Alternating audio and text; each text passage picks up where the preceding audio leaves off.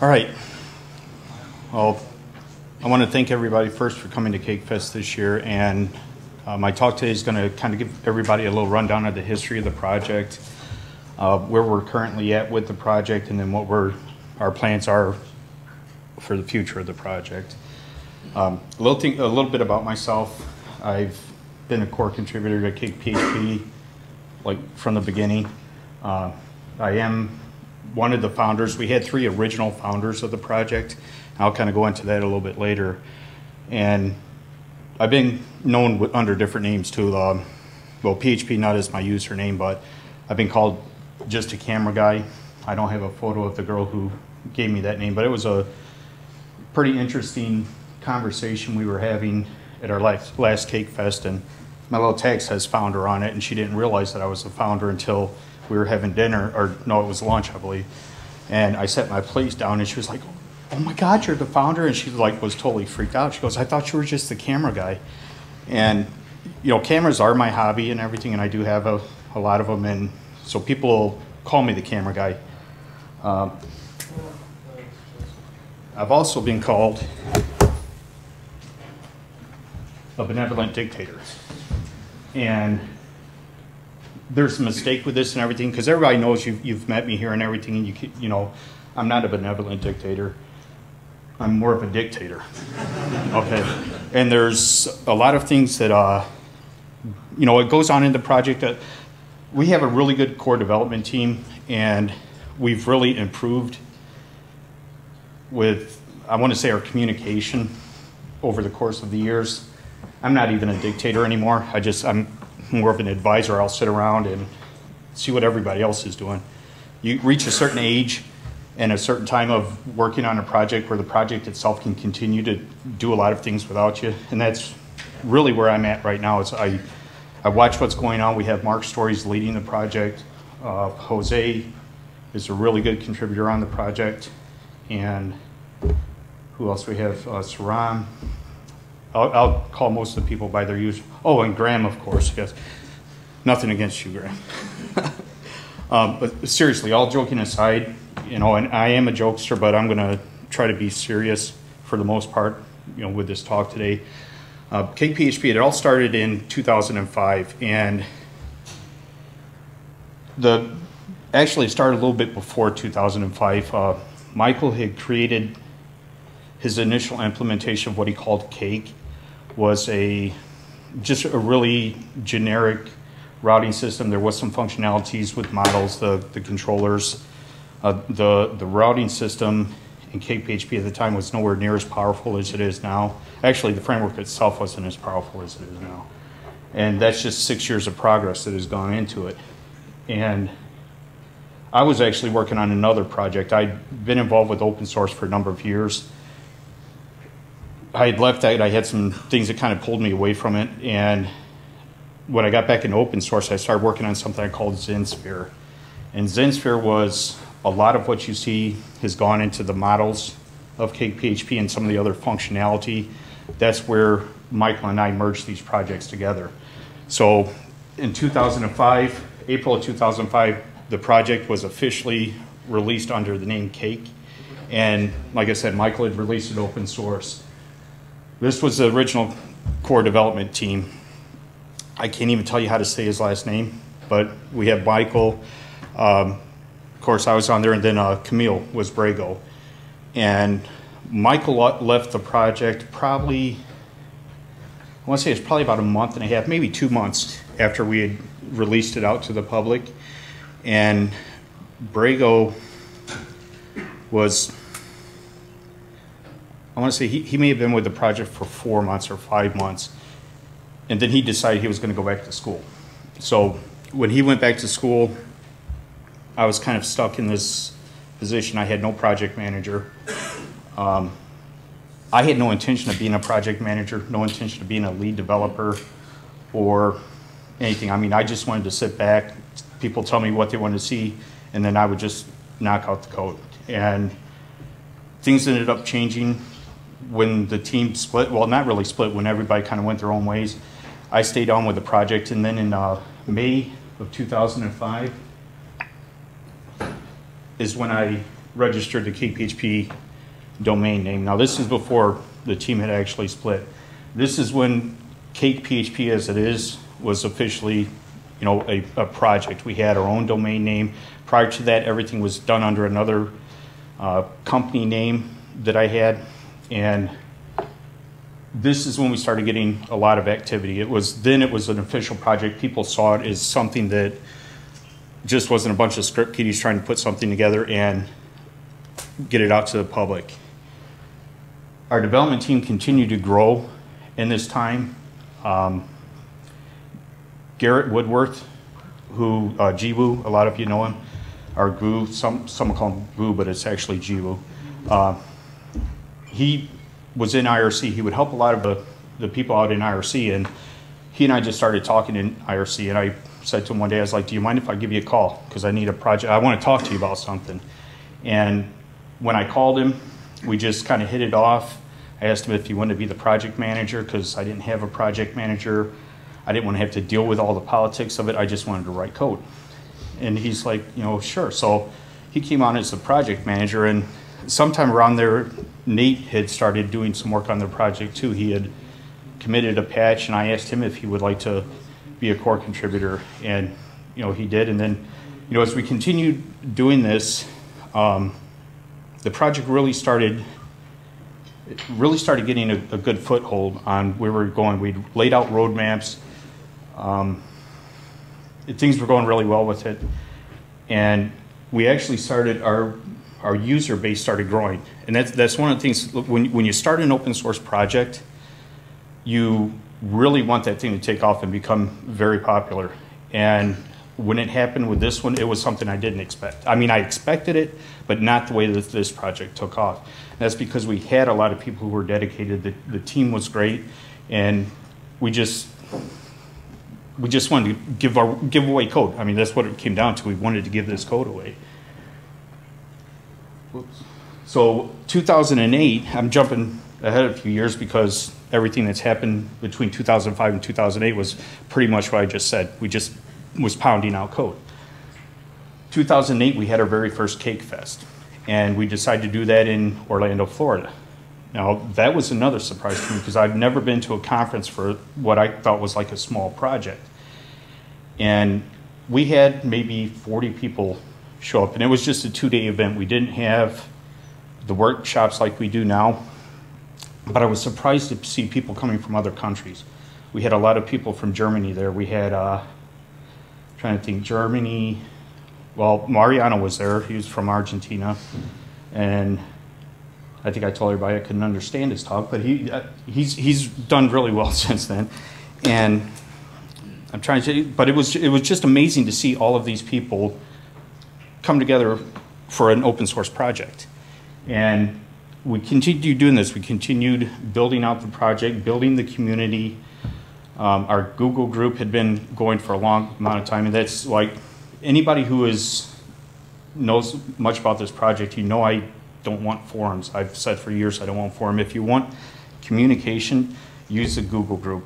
I mean, that's what we do. It's uh, I have no intention of ever putting up of an actual forum online. See, 2009 was a big change for the project. We had uh, 1.3 was getting to the point where we were going to be releasing it. There was a lot of changes. Mark had actually come onto the project. May of 2008. 2008 was it May of 2008? Okay. And I was trying to find some of the history, and I kept going back and going back. It's like, yeah, Mark's actually been involved with the project long, and you know, this is when we had. Uh, I actually kind of stepped down as lead developer on the project. This time, the or the first part of the year, and the new project lead took over, and well, Mark actually started doing a lot more development. You could go back and see the timeline, and that's where our project we still had focus and we were still going along with our roadmap where we wanted to be with the project, what we wanted to put out to the community. And then we started having, uh, we actually had two different branches of the code going, or, two different code bases. I don't want to say branches because the one that was Cake 3, which ended up becoming lithium was something that was being developed uh, like a replacement for Cake PHP, but it's not what we were wanting to do as a team. And it- Mark continued to work out on, uh, on the 1.3 base. We got the release out. And then we had a big split in the team. You know, that's the, the fork happened after the last Cake Fest. Um, and a lot of people in the community felt that this project was going to collapse. That's where there was a, I don't, I don't want to say it, it wasn't a, it wasn't a large majority of the community. It was, I mean, there was select, you could see it on the, the Google group, oh, the core team split, you know, what's going to happen, what's going to happen with Cake PHP. And we basically come back and said, the project's still here.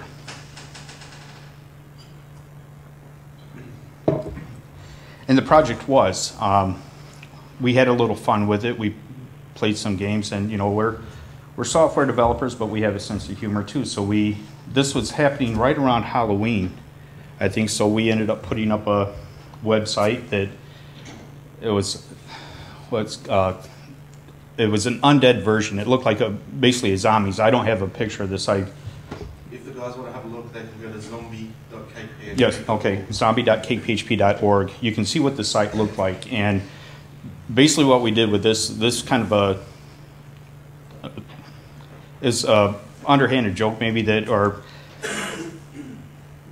we, we wanted people to see we've got a sense of humor. We're gonna continue with this project. It doesn't matter who's on this project.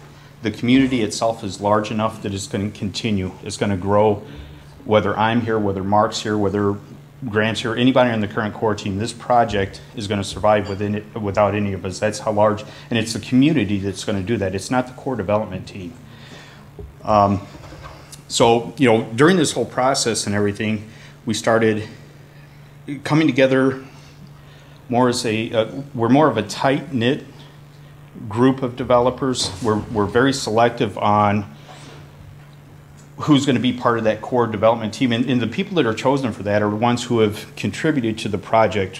When we moved everything to GitHub, that was the, one of the best moves we made because it really opened up people being able to access our code. Before the part about, you know, me, me being a dictator and everything, I was really restrictive with the code. We, I wanted certain ways for the patches to be submitted to us. I wanted, um, I wasn't so much into having test, requiring test with a patch, but it would have been good. It would have given us a better, um, better understanding of what the user, the, the problem that they had had with it.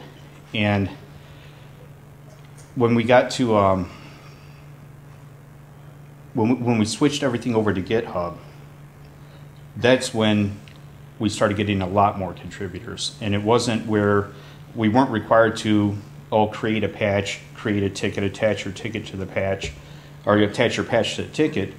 We're in a position where GitHub gave us the tools that would allow us to, somebody could commit to their branch, send us a pull request. We could look at that and then pull it right into the framework immediately if it was something. If it wasn't something that was a, a good fix, we could look at it. It would give us an idea on, you know, we could still see the problem that they were having, but it allowed us to have a better understanding and, and actually implement it a different way, implement that patch a different way. And we jumped from when we first moved everything to, to GitHub, we became one of the fastest fork projects that was on there. Uh, we had, I don't know how many forks we have of it now. We're still, and some of them were still in, in the top running. I think there's other projects that have gone on there now that had do have larger user bases, and they continue to, you know, outpace us in the in the uh, pull, not pull requests, but the the forks. But we still, I think, still maintain a good stat on that. And you know, all of this happened in 2009. We moved everything to GitHub.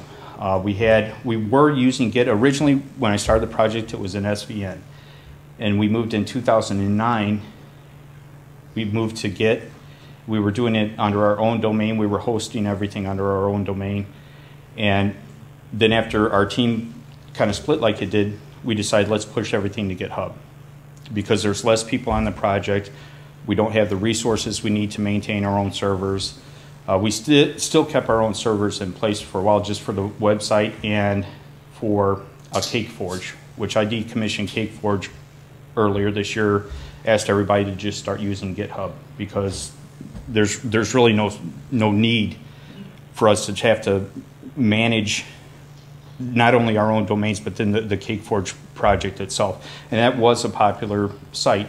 You know, some people were upset with it, but it was a decision we'd made as a team to just start focusing. We wanted to focus more on the code and start providing other tools for the user base.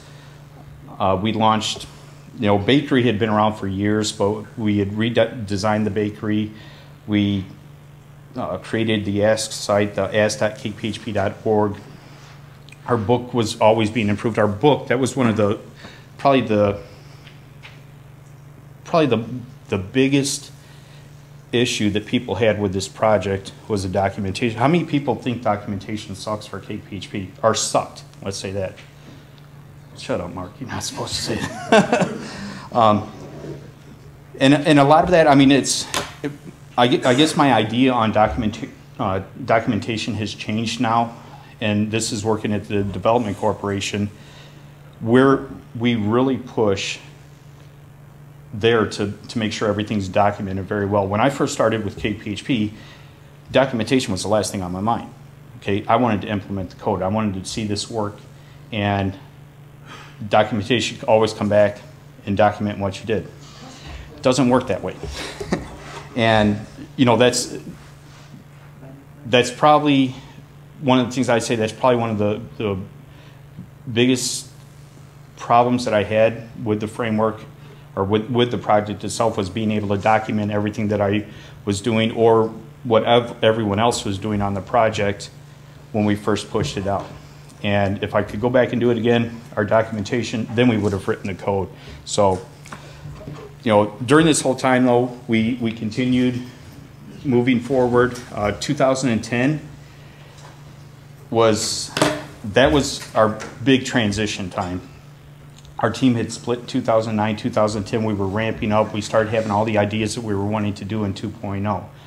Uh, there was a, a, lot of the changes that have been going into, I don't know who's aware of, there's a group, it's a PHP standards group. It's not really an official standards group, but it was a group of uh, other framework developers who had come together and they said, you know, we need to try to standardize plug or not plugins, but uh, we need to try to standardize how code is written, how files are named, how directories are created, and a lot of this had to do with the the automatic loading of a a class loader that had been written by somebody else, and we're trying to get this into the, the PHP core. I was real reluctant about adopting that, and it's just I I've always liked lowercase file names and you know things like this, and and I guess I had to kind of let go of that and let everybody else on the team say, okay, yes, this is what we're going to do. We're going to move forward with that. So we did, and it's actually probably one of the better decisions again that's happened. Just like as, a founder of a project, you don't always make the best decisions, and that's something I've realized over the last six, almost seven years. And that's why you have a group of other developers who work with you that kind of come up and give you a kick when you need it. They just don't kick you when you're down all the time. Um, but yeah, with, with, with this and moving forward with the code, starting to focus on a PHP 5 only version, and I'll explain the reason why this is something that we wanted to do. Um, that that move from going from 1.3 to 2.0 in a, a, PHP 5 only version, there was a lot of things that we needed to discuss with that. How are we going to keep our users? You know, our, what are we? The biggest thing with us was we didn't want to break backwards compatibility. Uh, Cake PHP was originally PHP 4 and PHP 5. You could write your code using PHP 5 only syntax, and that was fine. Your app would still run there's a, this big stigma that a lot of people had that Cake PHP is a PHP 4 framework. It's not. It was actually written with the anticipation of being a PHP 5 only in the future. But at the time, the largest users of PHP were still stuck on PHP 4 web servers. And a lot of them were uh, shared host. Now, as an owner, uh, I used to own an ISP, so I know a migration to do this upgrade is probably one of the things that you, you want to put off as long as possible. And I felt that that was going to be the case with PHP 4, and it turned out that you know there's still some PHP 4 servers out there. There's a lot of applications that have been written on PHP or Cake PHP that are uh, running on PHP 4 servers. We would like to get everybody to upgrade, but that's not going to happen. But we did have a large user base, and to to jump right into you know we we are going to be going to 5.3 or 5 excuse me 5.4 and above. Um, but it's not going to happen in this 2.0 code. There will be a Cake PHP 3.0 that is going to be in sometime in the future. We've actually we've discussed when we want to start that, and everybody knows with this we don't put out any information on when something's going to be done. We never tell you anybody when there's going to be a release. Um, but that's I mean, that's where we're at with the project right now. We're on a, a PHP 5.24. Are, are we at 2.4, 5.24 and above? 526 and above. And we're actually going to be um, here soon pushing out a, an RC release. So uh, this this is where we're at in, in 2011 is we've we've gotten to a point where We've gone through some um, some beta releases of Cake PHP. We've gone through, well, we did our alpha releases, our betas, and, and we're, we're really close to our RC releases. And actually today, I'm going to announce that, you know, 2.0, we are pushing it into our RC4, our RC1. We're going to go through a few RC releases, those, and those release candidates, we're gonna try to push them out fast. They just, they stayed up, the team stayed up last night fixing two other bugs that were in the system, or in the, the code. That was Mark and Jose. I have no clue what time they went to bed because I tried myself to go to bed early and it, I actually stayed down here a little bit, but it was 3, 3 a.m. Okay, they stayed up till 3 a.m. so we could get this RC release out today. And um, a little bit about the release and everything. Um, anybody know what this is?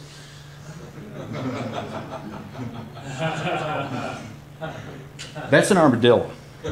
Okay. Think about an armadillo. It's it's a uh, it's it's a hard shell. It's it's a very protective uh, thing. And I, I, kind of when I when I looked at this, I'm thinking to myself, you know, that's like me. I got this hard shell. I'm very protective and everything, but I didn't like this, right? I didn't like the look of that. So then I found this. That's more me. That's a that's an armadillo, right? So what we're going to be doing with our RC release is I've got a new platform that's going to be pushed out. It's armadillo. And you can find it here.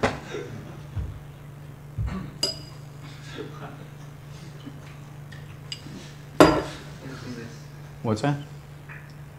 You didn't see that. You didn't see that? Oh, I, I, sorry guys. Is it there? The code?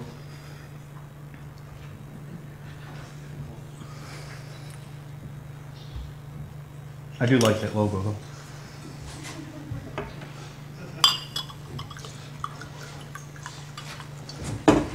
How fast is?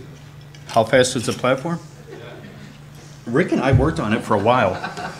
You have to go to github.com really slash phpnut slash armadillo. No, phpnut.github.com slash armadillo. It should work. That, no. Hold on a second. Let me see. I'll just take this down for a minute. It could be, um,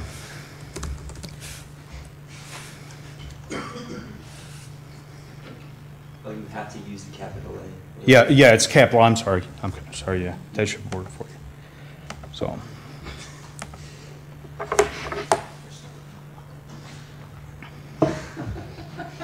All right, guys, I'm kidding. No, all joking aside, for real, that was, you know, that's my joke for the day, I guess. There we go. Now, who's going to dance to it? When I, when I, when somebody told me about this yesterday, er, you know, just, uh, actually, that music that we had last night made me think about this. So, but, okay, where we're at right now, okay, 2008 till when? Okay, where are we going to be with the project? What are we going to be doing?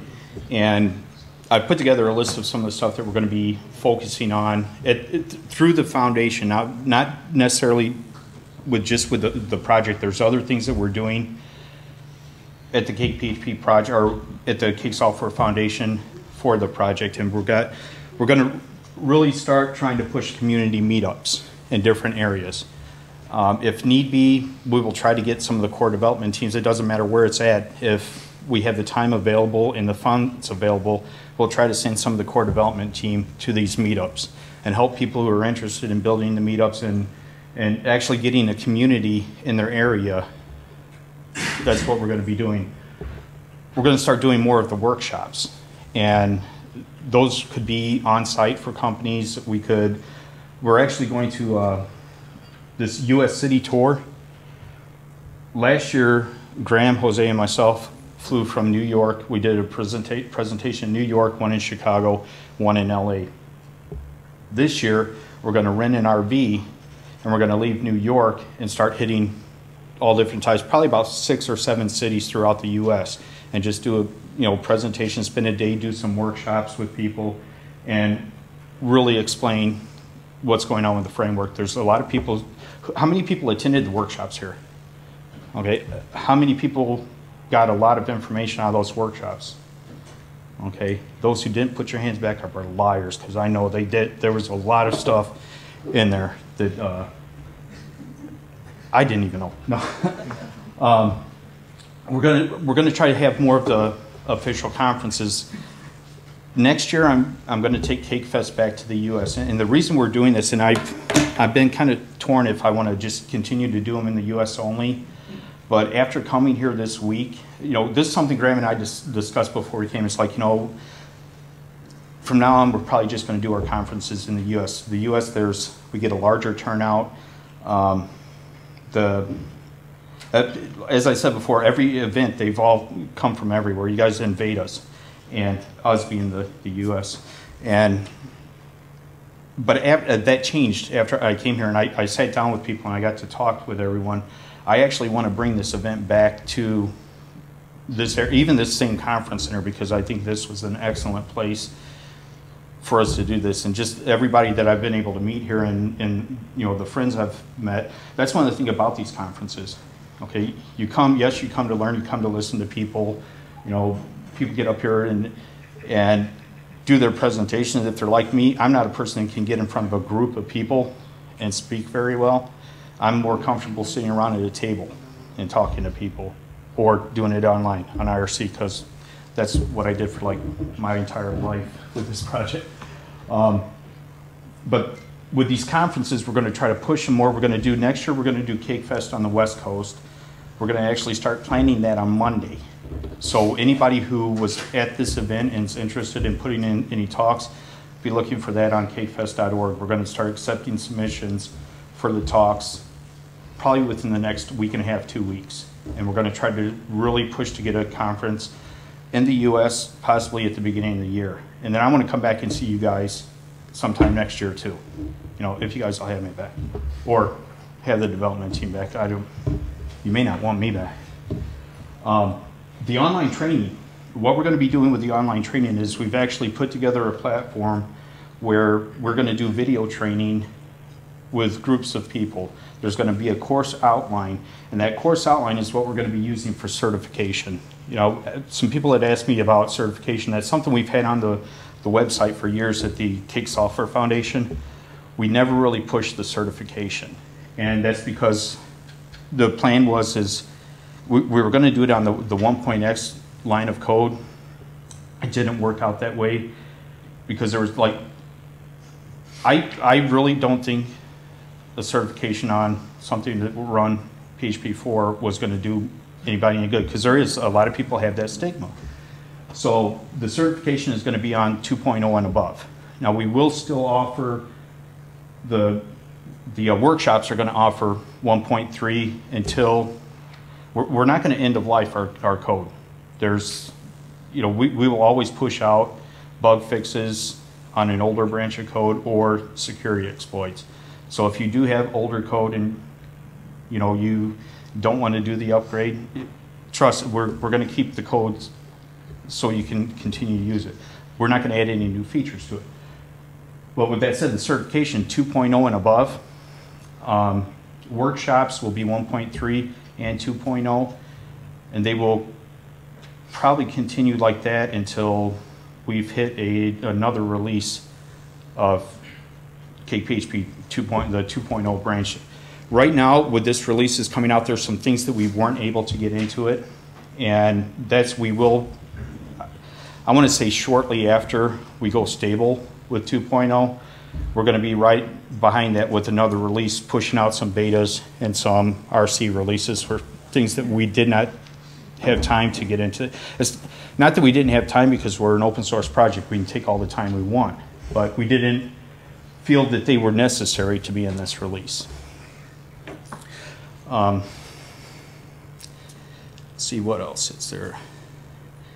The meetups, the workshops, the train. Does does anybody have any questions about you know where we're at with the project or what we're doing, why we did made certain decisions on things, or any what's do you, do you, uh, ignore five point I ignore what five point three, five point two. five point three? Oh, 5.3? When you, when you're a project like CakePHP and you have a large community, you've got to have that migration process to get to them. Now, you can still, you, any of the code that we have right now, you can write your applications with 5.3. We, we actually put a fix into 1.3 to stop it from throwing the notices. Um, 2.0, the same way. Now, our migration process to go from, from 1. Point, how many people used CakePHP before 1.2? Okay. How many people enjoyed going from 1.2 to 1. Point, or from 1. Point whatever to 1.2? None of you, right? Because there was br- breaks. Who? I enjoyed it. You did not. Did you? The, you wanted those features? Well, you enjoyed. Well, um, no, you enjoyed it because there was additional features there. Yeah. But the migration process, there was there was a lot of breaks in backwards compatibility, and that's something that you you'll see through the other versions that we've done from 1.2 to 1.3. There was not very many breaks in backwards compatibility, and those that were were very well documented. There was a complete migration guide in place for that. And same thing with 1. Point, uh, 1.3 to 2.0. We have a migration. We actually have scripts that'll, some, the workshops where we had this request data, how we, we've removed this data. Well, not technically, they haven't removed it, but with, with that, you can run these upgrade scripts and it's going to go through your code and it's going to find those and it's going to upgrade it. And to, to try to do this and implement namespaces into uh, a 5 point or a, in 2.0, a lot more difficult to do that, to try and create the upgrade scripts to, to keep our users happy. We want to, as a project like this, you need to try to keep the community happy. Give them that upgrade process and things will go a lot smoother. So, uh, did that answer your question? And I, I don't regret the decisions that we've made on any of it, and the reason why is because of the community. If I look at it like this, if you're gonna, if you've been using any product, project for a long period of time, and they do something that's gonna break your application, you have to rewrite it from scratch almost, you, you're gonna look elsewhere. You know, I think a lot of people would do that. So, that's the main reason, the community.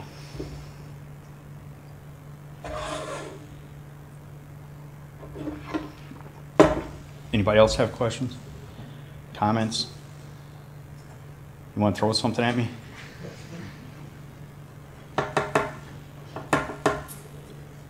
I, I actually do that armadillo. I may do something with it. I'm not. I'm gonna leave it out there for a while, but you guys, I had to do that. And I want to thank the community, okay, because without the community, we wouldn't be here. Um, There's, there's only so much you, you do with a project for your own, and then when you turn something into an open source project like this, you don't continue working on open source code for yourself. You, you do it because there's other people are using it, and you do it basically for the community, and we have a, a huge one. And then, of course, the uh, CakePHP development team. You know, without them, none of us would be here, and, you know, they've, uh, they've really kept this project going. So, thank you very much.